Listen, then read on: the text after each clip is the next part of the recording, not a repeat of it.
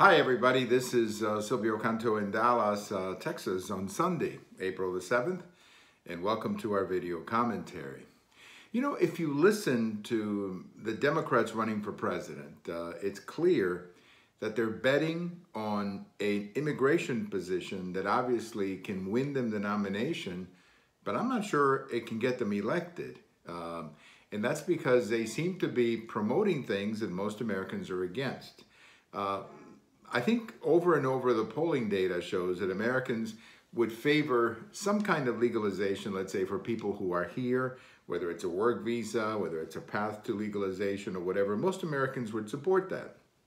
The same with DACA. Uh, most Americans support some type of legalization of the so-called dreamers.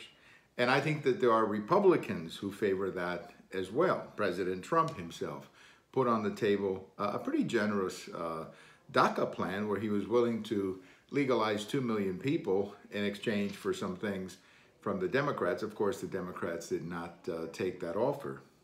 But a lot of the Democrats are talking about open borders and a degree of tolerance of illegal immigration that I think puts them completely outside of the mainstream. By the way, they're also on the outside of the, completely on the outside when it comes to late term abortion. I mean, on that one, they're completely outside uh, the mainstream. And I think this is going to be a very difficult position for whoever the, Demo the Democrat nominee is in 2020. I mean, how do you go to the American people in 2020 and say that there's no crisis on the border when we see what is happening on the border here uh, over the last two weeks? How, how do you say that uh, you believe in open borders or basically no controls in who comes in or doesn't come in?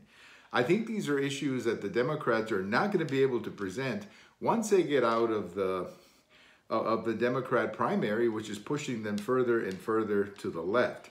So as long as they continue to present that position on abortion, I don't see how they can expect to win in 2020, particularly against President Trump, who's obviously taking a very tough position on illegal immigration, but keeps open the possibility of DACA and other types of immigration reform. So I don't know what's going to happen, but there doesn't seem to be anybody running for president on the Democrat side who understands that you're going to have to go to the middle at some point and uh, speak to a much bigger nation and a much broader nation uh, when it comes to issue, uh, when it comes to issues that will be voting on election day 2020. But right now, they just seem to be focusing exclusively on the left-wing border in the Democrat primary, and that may be good to get nominated, but that's going to be uh, very difficult for them to get elected in 2020.